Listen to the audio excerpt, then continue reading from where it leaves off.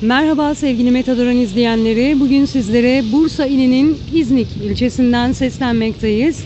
Ve tarihi gezimize Ayasofya Camii'ne devam ediyoruz. Bu Bursa'daki bu Ayasofya Camii'nin diğer adı Orhan Camii olarak da geçmekte.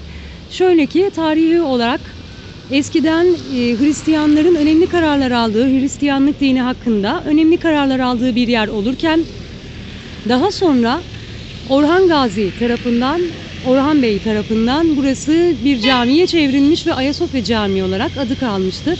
Sonra da günümüzde sürekli restore edilerek 1331 yılından itibaren cami olarak kullanılmakta ve dört köşesi surlarla çevrili olan bu caminin aynı zamanda çok değerli tarihi eserlerde, eserlerde bahçesinde bulunmaktadır. Bursa'da İznik'teki tarihi gezimizi şu an Ayasofya Camii'nde bitirmiş bulunuyoruz. Daha sonraki gezilerimizde görüşmek üzere. Biz izlemeye devam edin. Esen kalın.